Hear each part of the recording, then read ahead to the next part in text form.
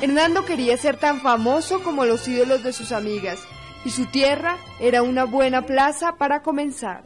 Yo hacía allá en, una emisora del Will, hacía dramas de la vida real, se llamaba eso. Eso era, digamos, lo que pasaba en una semana, un caso, que llegó y se le perdió una vaca en una finca y, y por estar buscando a esa vaca se mató un muchacho, se cayó y entonces eh, había un, el director de esa emisora, Fernando, no recuerdo el nombre, él escribía eso y, de pronto se hacía como especie de una radionovela. Y yo ya hacía esas cositas, me daban eléctrica a mí en eso.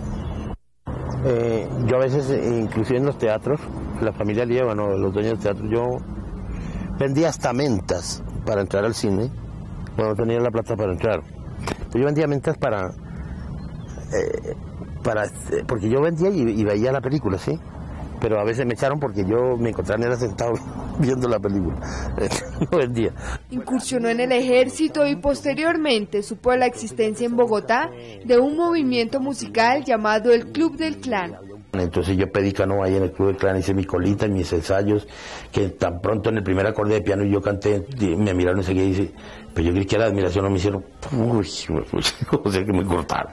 Alicia Carpio siempre solía pasar, bajar todos los días, ella tenía una oficina arribita de Intravisión, de Estudio San Diego. Entonces eh, yo le decía a doña Alicia, ayúdeme, yo quiero ser actor, porque no me dan papelito así yo sirvo. Si no sirvo, pues entonces me voy, porque yo qué hago acá. Y ella todos los días la así hasta que ella me dijo, venga, mono, que le voy a dar un papel. Y me dio un papelito y, y ahí más o menos lo hice. Y volvió, pero duré como un mes que tampoco me volvió a llamar ni nada. Y hasta que me dijo, le voy a dar un papel a usted, no sé qué, y nada. Y me dio, me llevaba Hernando María, ¿qué? Hernando María de las Casas, me llamaba en el libreto. Eh, Cookie, Cookie, Luzardo, ella me ayudó mucho.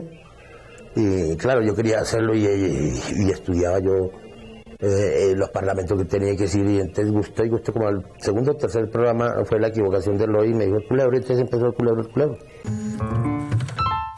Señal Memoria, imágenes y sonidos para la historia.